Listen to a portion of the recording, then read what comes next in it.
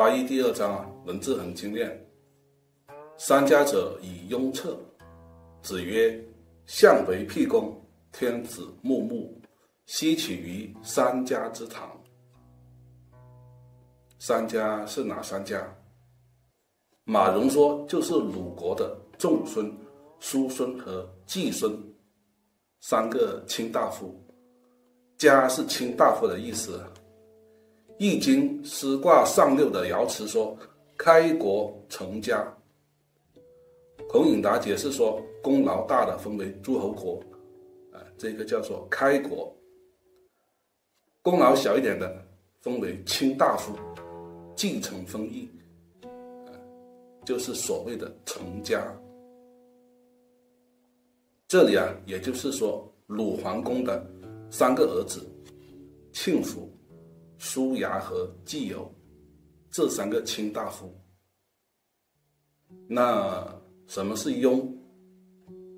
就是周朝的诗篇的名字，用来称赞助祭的各位大臣百官。我们今天在《诗经》里边呢，还能看到“有来雍雍，质子肃肃，相为辟公，天子穆穆”。呃，意思就是说呢，过来的时候和睦融洽，到达的时候恭敬严肃。来助祭的都是诸侯和夏商王朝的后代，天子的威仪端庄肃穆。那这些诸侯国的君主和夏商王朝的后代是怎么参加助祭的呢？有有很多种方式，有出钱买祭品的，有出席陪同的，有提供献乐的。《雍》这首歌呢？是天子在宗庙祭祀了以后啊，演奏这首歌用来撤下祭祀的用品。呃，现在这三家在撤祭品的时候，也用这首诗歌，显然就是一种僭越的行为。包贤说，辟公就是诸侯国的君王和二王之后。啊，对于这个词正确的解释是，辟指的是周王朝分封诸侯国的君王，公指的是二王之后，就是周王朝建立以后啊，分别给夏朝和商朝的后裔一块封地。夏朝后裔的封地呢是杞国，商朝后裔的封地就是宋国。这就是所谓的二王之后，都是这个级别的。木木是天子端庄肃穆的样子。用这一篇诗啊，之所以这么唱，是因为有诸侯和二王之后来帮忙祭祀，现在来助祭这三个卿大夫的。只不过是这些人家里的臣属，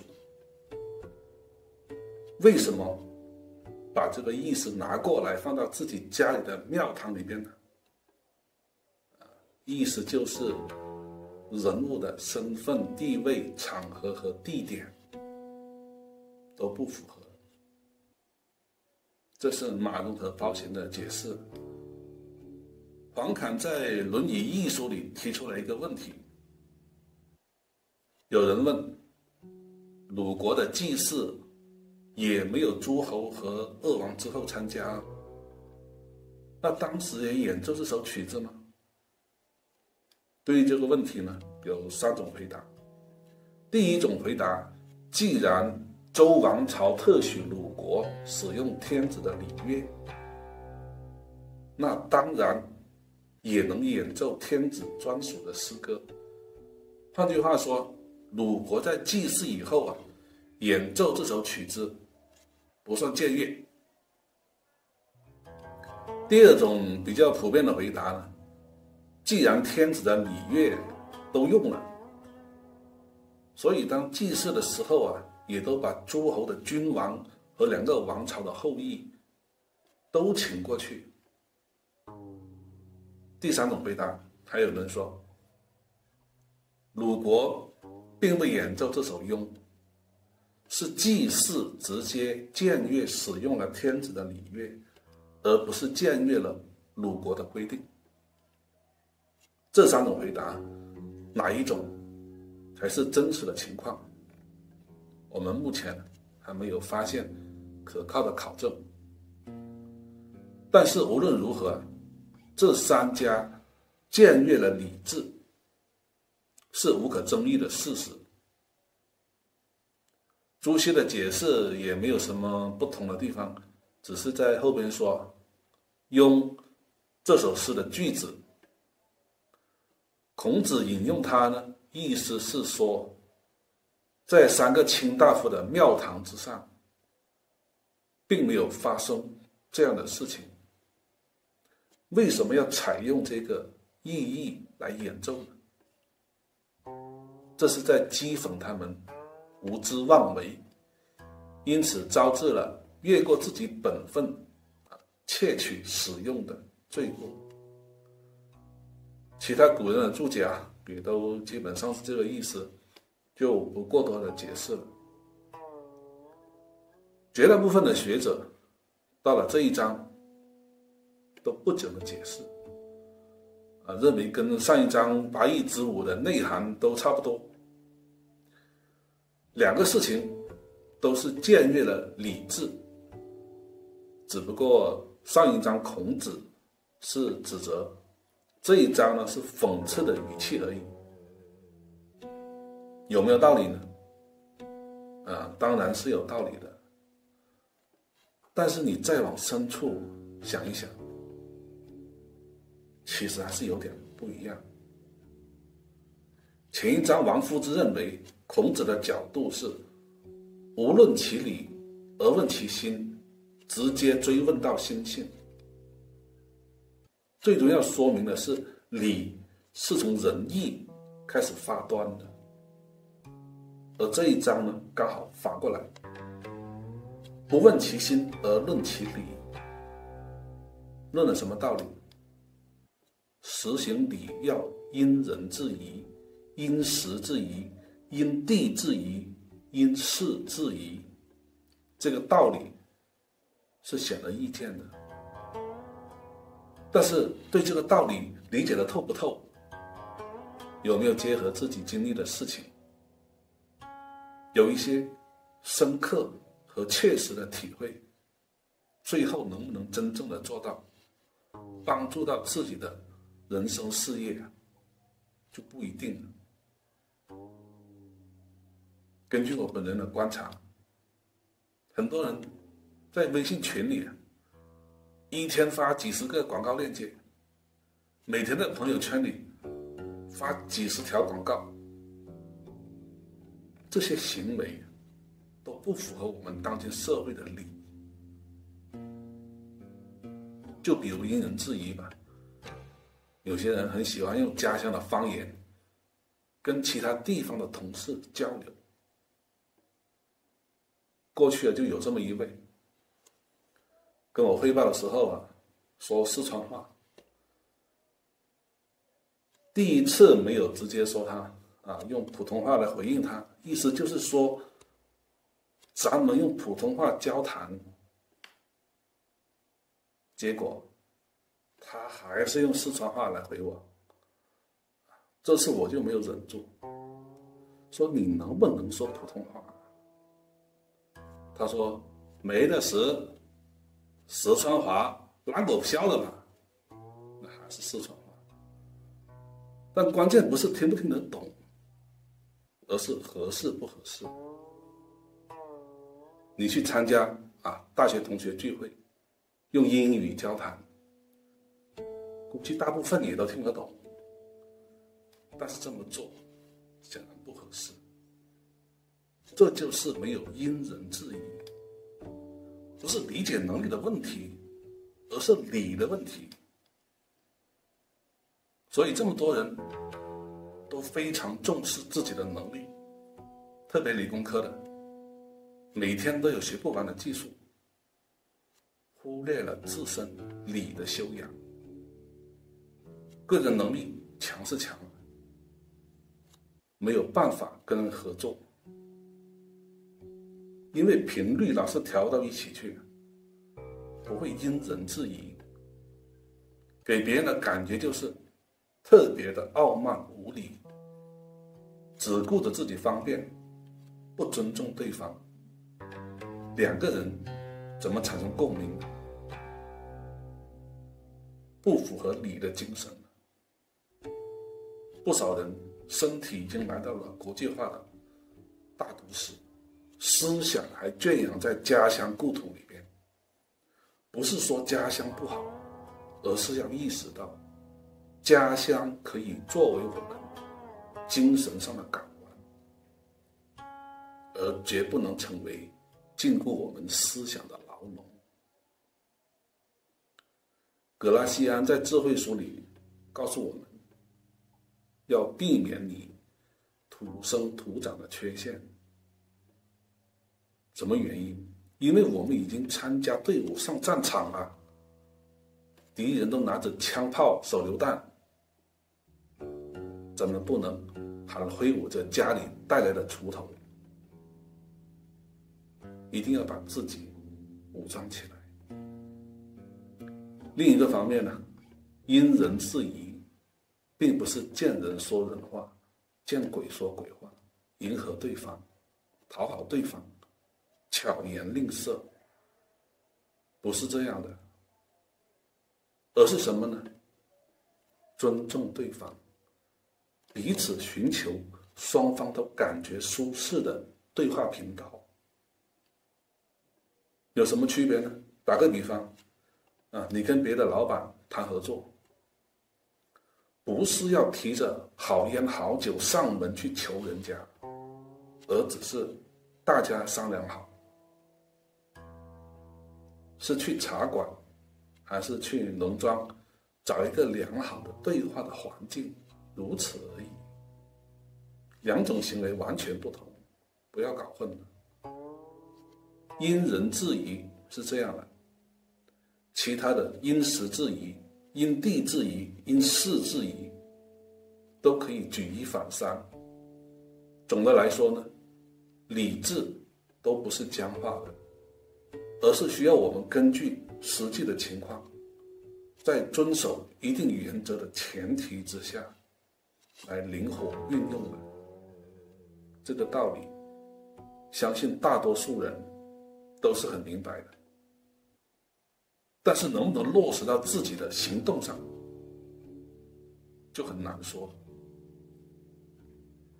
我们在采取任何行动之前呢，是不是都有这些方面的考虑？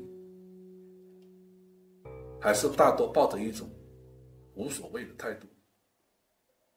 为什么会无所谓？就因为心里边或多或少的傲慢没有去掉。综合起来，就是既不能过分讨好，也不能以傲慢自居，既要灵活运用，又要保持人格的正直。怎么做到？以人治理，所有的理必须出自于人的精神，而理之用，和为贵。怎么能达到和？因人制宜，因时制宜，因地制宜。因事制宜，以人治理，礼之用，和为贵。这些听起来很虚的东西，在我们的现实世界啊，就是这么发挥作用的。儒家原本的教义啊，并不是死板的教条，只是从汉代董仲舒提出三纲五常以后，逐渐僵化了。这些僵化的东西在文化的根源上压抑了国民的精神，扭曲了国民的性格。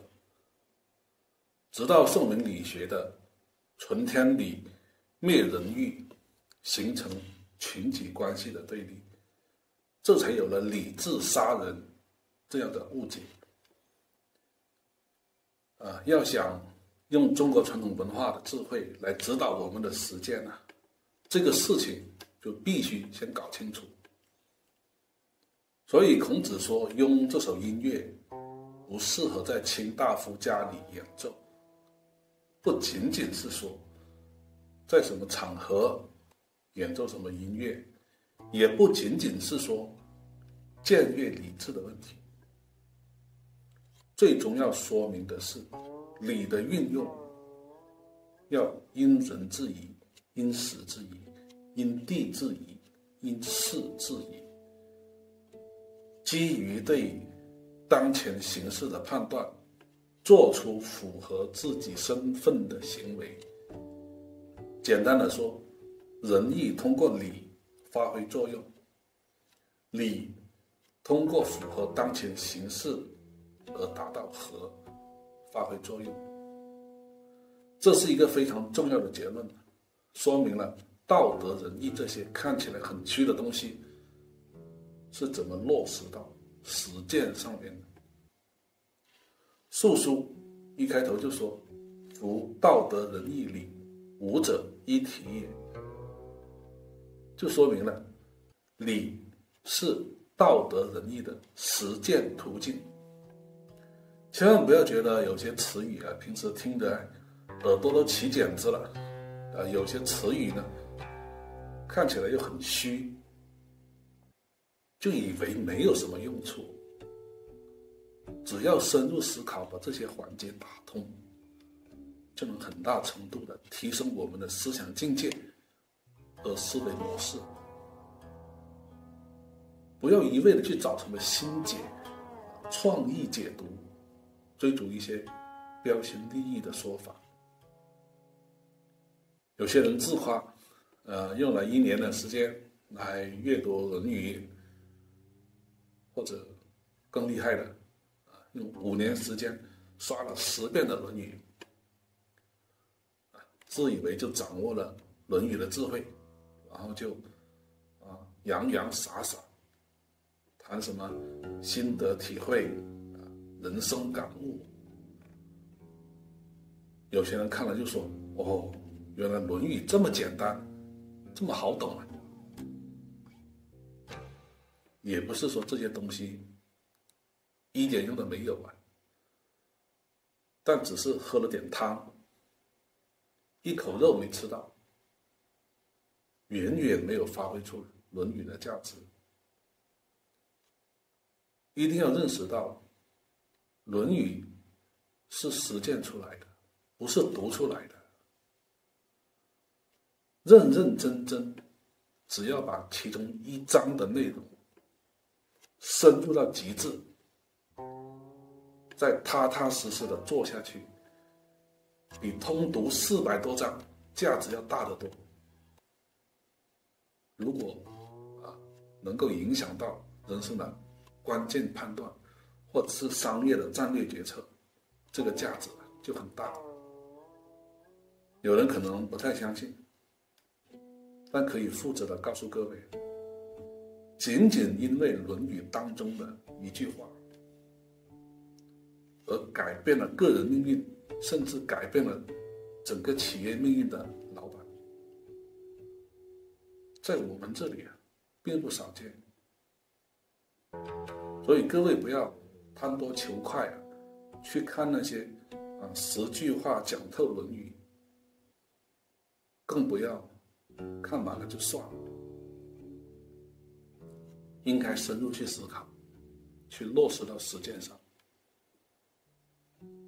比如这一章，我们怎么用在个人身上？怎样用来帮助自己的人格成长？不论你有多少亿的身价，不管你当多大的官，或者还只是个在校的学生，或者刚刚毕业，啊，出来工作。无论处在人生的哪个阶段、什么阶级，从看到《论语》的这一句话开始，就要找一个安静的环境，排除一切干扰，让自己变成一面平静的湖水，来如实关照自己的人生。孔子说。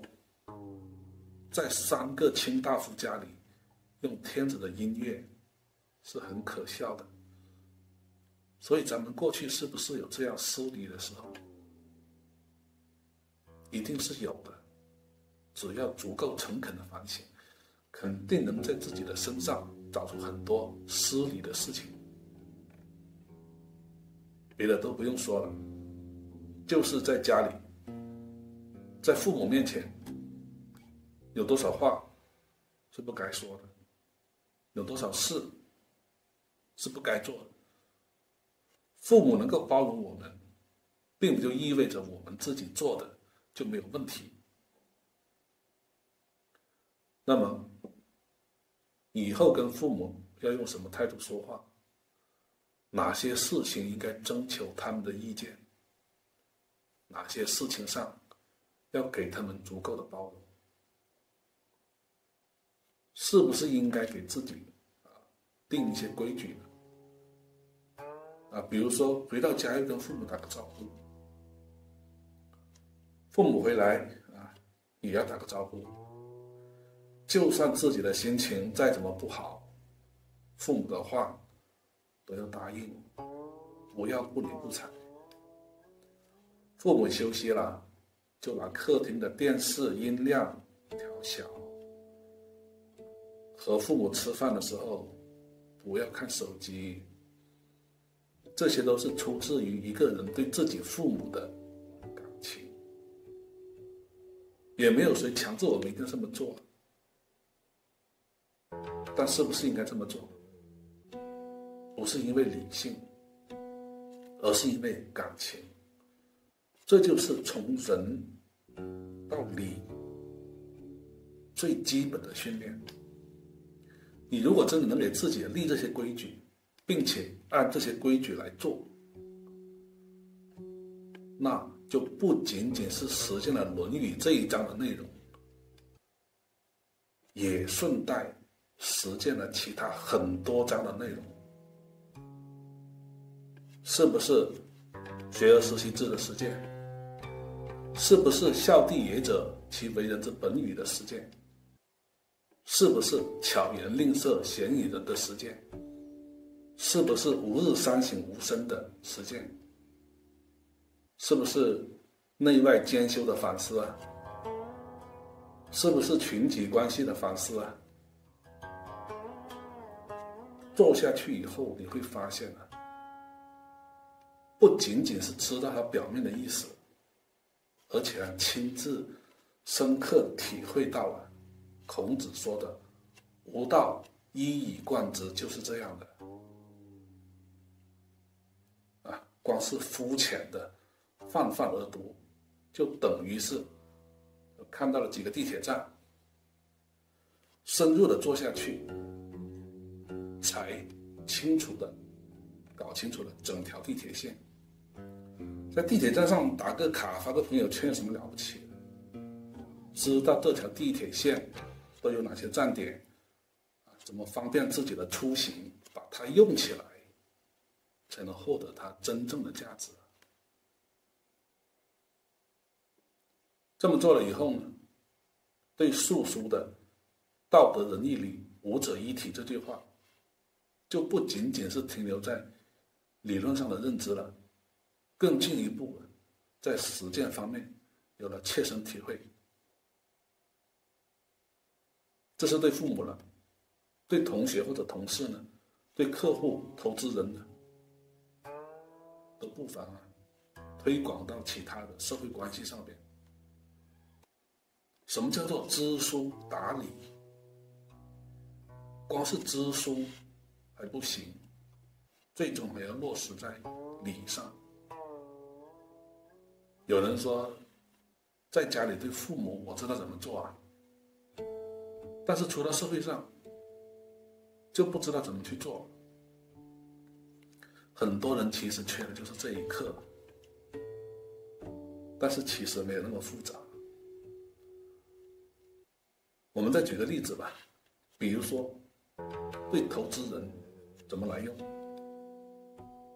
这个理应该怎么来思考？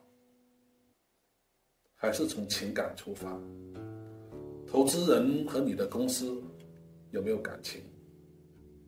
没有感情了，只看重你的分红，开什么玩笑？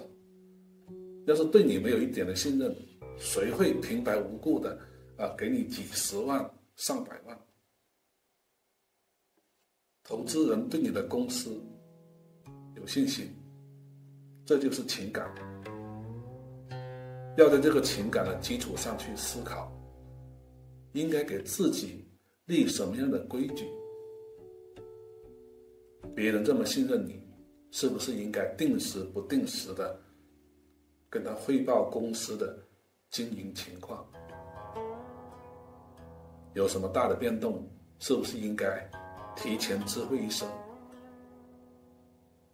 当然，有些公司的董事会啊有明确的规定了。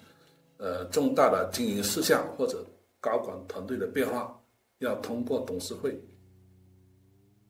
但并不是每个公司的章程都是这么规定的。无论有没有规定，让别人对你继续保持信任，我们实践理啊，就应该要做到这样类似的事情，不是说。啊，只要有个财务报表就可以了。那些纸上冷冰冰的数据是没有办法体现理的。理性的思考要有，情感上的分析也不能欠缺。有情感存在，就有理的存在。不要辜负别人对你的信任。但是同时也要注意了，这种情感。一定要是真诚的，发自于内心的，不能曲意逢迎、扭曲人格，否则就超越了理的范畴，变成谄媚了。这就是理在内圣方面的实践。其实我们上一章也有涉及啊，不过没有说的这么具体。那么外网方面呢？我们啊，培养了自己理的思维方式，基于将心比心的对生命情感的体会，基于推己及人对群体关系的认知，我们为自己定下这样那样的规矩，形成了我们人格品质当中仁和义的表达规范。提高了自身的道德素养，这是内圣的部分。然后，下一个步骤，也可以说是外王的部分，那就是把内在的理，通过基于形式研判的行动，和的效果。具体落实到实践上，就是。因人制宜，因时制宜，因地制宜，因事制宜。也就是说呢，落实的关键在于对形式的研判。那么我们个人也好，啊，组织也好，怎么去做形式研判？有些人一开口就是呃 SWOT，也不为错，但是这个思路呢，过于简单狭隘。那要怎样才算是丰富和开阔呢？举个例子吧，咱们从亨利·明茨伯格的战略历程啊得到启发。这本书为我们列举了十大战略学派，啊，实际上也就代表十种不同的战略视野。我们逐个的来简单说明一下吧。设计学派使用各种概念来形成战略，啊，也通过一些概念模型来研判形势，比如 S W S W O T 模型。计划学派呢，把战略看成一个计划，从自己经营的性质来研判形势。定位学派认为战略主要是基于自己的定位分析。通过分析自己的竞争优势来研判形势。创业学派呢认为战略就是预测未来，通过具有洞察力的企业家来研判形势。认识学派认为战略来自于认知，通过提升认知水平来提高形势研判的准确性。学习学派认为战略就是随时应付眼前的问题，通过组织在各种不可测因素下的应对方案来应付形势的变化。权力学派呢认为。战略通过各方面的这个协商完成，对形势的研判，侧重于权力的运用和各种影响力在谈判协商过程当中的作用。文化学派认为，战略是集体思维的结果，从观念的形成到持续作用来研判形势。环境学派呢认为。战略要不断的适应外部环境，通过对外部环境的考察来做形势研判。最后，结构学派啊，这个最鸡贼，认为战略是各种因素综合作用的结果，需要通过以上的九个学派的角度来综合考察分析，才能做出比较完善的形势研判。花了这么多时间给各位说明这些学派啊，并不是意味着就只有这些方法，只是希望能帮助大家拓展视野、打开思路。实际上，明茨伯格的这一章的战略管理理论呢，属于古典战略理论，仅仅代表了一个时期。啊，可以用来完成形势研判的各种角度的理论，同时，也意味着各位在实践当中需要提高的各项能力，包括但不限于对概念的把握把握能力，对组织经营性质的深刻理解能力。简单来说，国企和民企绝对是不一样的。对自己定位分析的能力，对竞争优势的制造和把握能力，对未来的预测能力、认知能力、应变能力、协商能力，对群体心理的把握能力、外部环境的考察能力，这些能力同样是内外兼修的。那么在呃，古典战略理论之后呢，还出现了竞争战略理论，也就是目前啊，呃比较前沿的战略理论。说起来又是长篇大论了。典型的有波特的武力模型，大家都很熟悉了。这同样呢，也是形势研判的一种思考的理论工具。注意，我们说的只是理论工具啊，也就是说，这些呢都只是形势研判的一种思考的工具。你要是直接拿来啊指导组织的战略，大概率是行不通的。所以说，形势研判呢不是一个简单的过程，而是复杂的多个角度综合分析的结果。要清楚的认识自身的定位和能力，也要清楚的认识外部的环境、机会和风险，才能更好的把内圣培养出来的理适当的表达出来。啊，小到个人，作为刚毕业的大学生，没有任何工作经验，这是自身的定位和能力。就业形势困难，啊，学习成绩呢还不错，有点机会。家里煤矿，经不起毕业就失业的风险。这就是形势研判。弄清楚了这些，在求职的时候才能把握好分寸。保持一定的谦逊是必要的。对福利薪资的期望啊，适当降低也是可以接受的。假如认不清自我，也认不清形势，有个九八五二幺的本科学历，就觉得多么了不起了。面试的时候呢，做出各种不合适的、傲慢无礼的表现，很大概率。会就业失败。报道一个组织进入网络时代的多少年了，还躺在线下渠道睡大觉，对自我的认识不够，对环境、机会和风险的研判错误，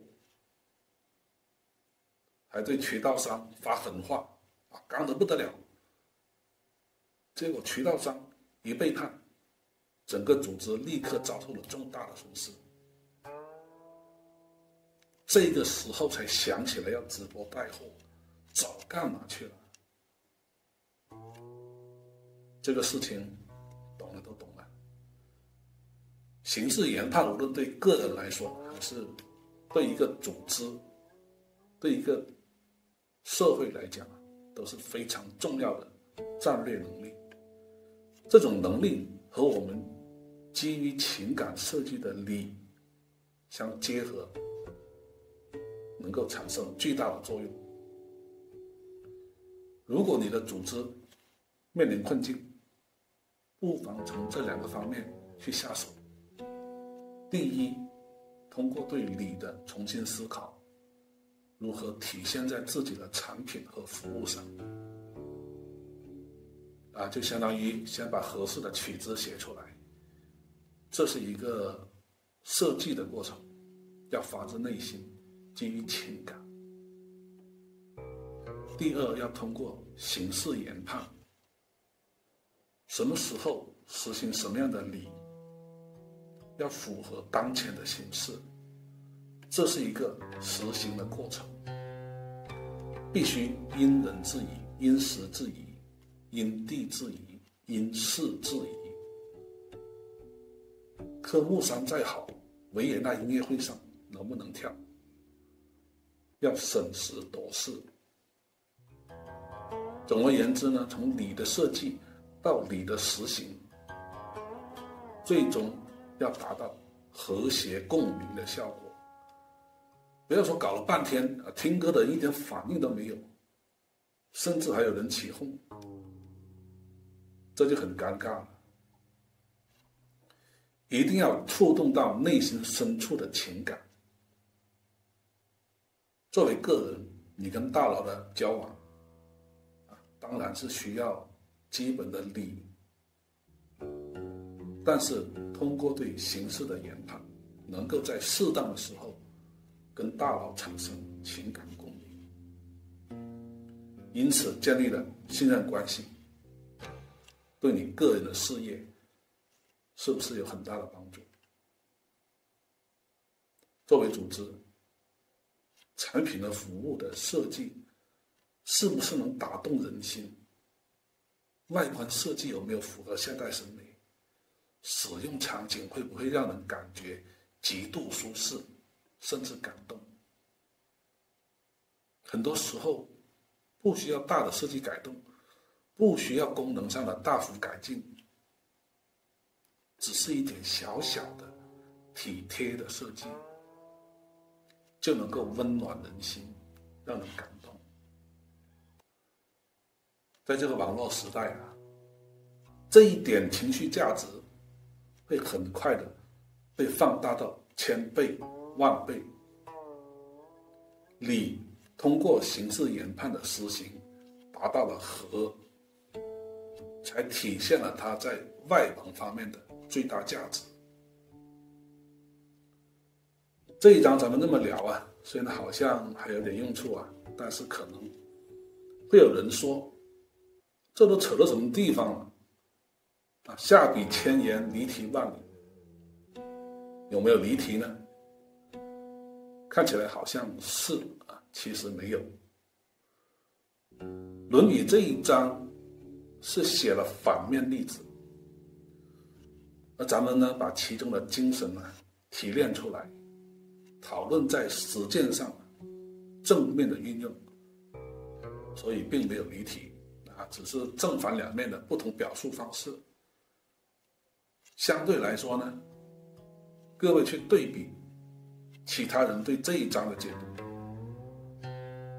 绝大多数都是划过去了事。有些啊强调现代音乐舞蹈的艺术独立性，啊不应该再受到理智的约束。有些只是说明了孔子对于僭越理智的态度。呃，有些说啊前一章是责骂，这一章是讽刺，都是圣人施教的方法。这些解读呢都没有深入到。礼的精神，啊，没有思考实践的方法。虽然不乏名家，但讲句不客气的话，都不得要领。至于那些呃泛滥成灾的自媒体公众号之类的解读，看了百来个，水平太糟糕，完全没有关注的必要。我们一方面感觉啊。如果各位能比其他人有更深的体会，用到自己的实践上，相对其他不了解的人有明显的优势，啊，这个作用的效果很明显。一方面呢，要对这种传统文化运用的现状有一种无水与归的感觉。算了，闲话不多说了，就先聊到这里吧。